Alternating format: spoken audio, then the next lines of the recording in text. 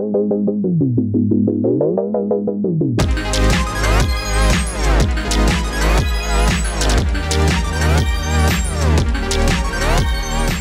monde euh, est devenu maintenant volatile, incertain, complexe et ambigu, l'acronyme VICA, qui commence à être euh, bien connu maintenant.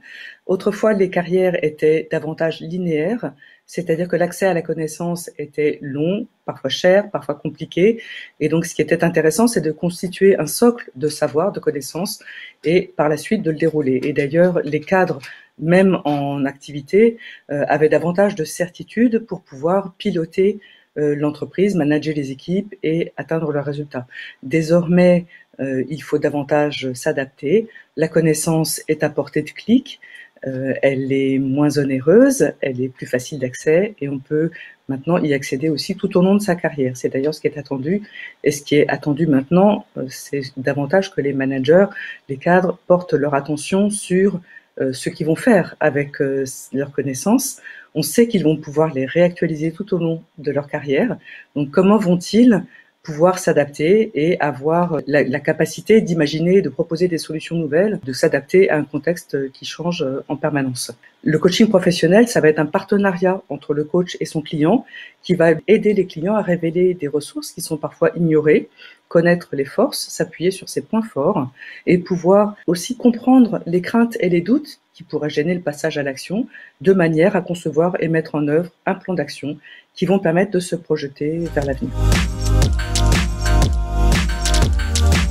Certains emplois vont, dans quelque temps, euh, atteindre leurs limites et parfois même quasiment disparaître, ou bien qu'ils vont devoir s'exercer dans des conditions qui ne vont plus convenir aux personnes qui exercent actuellement cet emploi, puisque ça va remettre en cause ben, soit leur façon de voir les choses, leurs idéaux, leurs valeurs, ou que ça va euh, demander de solliciter chez eux des compétences ou des connaissances qu'ils n'ont pas encore, ou de, de, déployer des comportements sur lesquels ils souhaitent pas s'orienter. Donc il arrive que les personnes viennent me voir alors qu'elles sont en poste, elles savent que leur secteur d'activité est en repli, que d'ici quelques temps, ben, leur métier aura probablement disparu ou qu'il aura évolué. Donc elles éprouvent des doutes et de la confusion sur leur avenir. Et dans ce cas, eh bien, le coaching professionnel, ça va permettre de transformer, au lieu de subir ce moment de changement, eh bien, on va le transformer en opportunité. C'est-à-dire qu'on va prendre les devants pour se recentrer sur ses valeurs, prendre le temps d'aller explorer quelles sont nos véritables aspirations, concevoir un projet qui soit réaliste et qui procure à la fois euh, l'impression de progresser, un épanouissement, un sentiment d'épanouissement, du plaisir et bien sûr qui soit rémunéré correctement.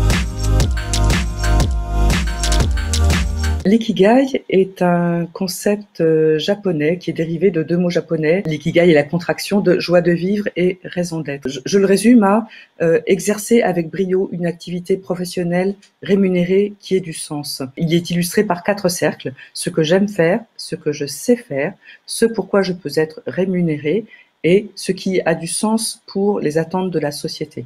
Et à l'intersection de ces quatre cercles se trouve la zone idéale qu'on appelle ikigai, c'est-à-dire euh, d'avoir atteindre une activité professionnelle qui vraiment correspond à nos aspirations profondes. L'intérêt pour les personnes d'explorer avec un coach professionnel justement cet ikigai, c'est de leur éviter ce que j'appelle le, syndrome de la chambre d'hôte, c'est-à-dire que parfois les personnes sont en total rejet d'une activité professionnelle qui leur déplaît, qu'elles ne sentent pas convenir à leurs valeurs, dans lequel elles se sentent parfois inutiles ou dans lequel on, leur demande de faire des choses qui ne leur correspondent pas. Un exemple type, euh, si elles se sentent euh, mal à l'aise avec euh, le stress, les contraintes, le stress de la vie urbaine, des contraintes commerciales ou managériales, la première idée qui va leur traverser l'esprit, c'est ah ben je vais ouvrir une chambre d'hôte, au moins j'aurai le contact avec la nature, j'aurai la douceur de vivre, j'aurai de la convivialité.